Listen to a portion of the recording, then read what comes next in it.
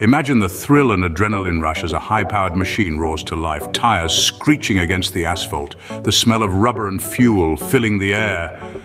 Welcome to the world of car racing, a testament to human ingenuity and the unyielding pursuit for speed. Flashback to the late 19th century, the birth of the automobile. The year is 1887 and the world witnesses the first ever automobile race. However, this wasn't the adrenaline-fueled spectacle we're familiar with today. No, this was a two-kilometer event in Paris with only one participant. Not quite the race you'd imagine, right? But this event planted the seed for what would become a global phenomenon.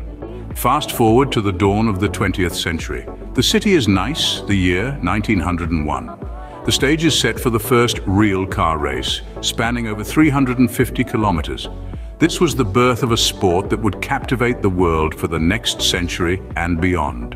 The Roaring Twenties brought with them the advent of the Grand Prix. The world was introduced to the thrill of road racing, with vehicles reaching speeds unimaginable just a few decades prior.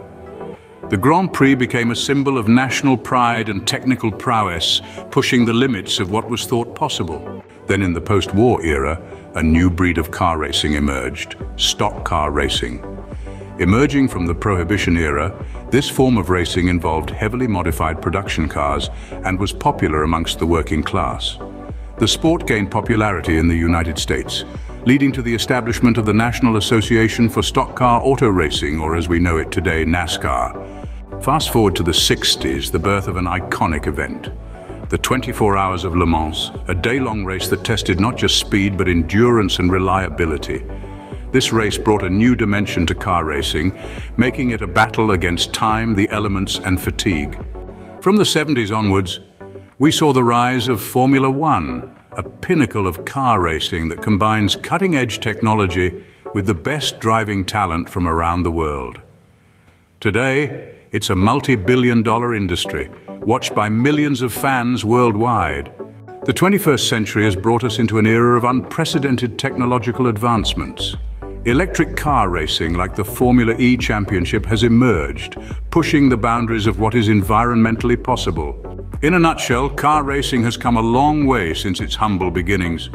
From a single participant race in 1887 to a multi-billion dollar industry in the 21st century, it's a journey marked by human ambition, technological advancements, and an unyielding passion for speed.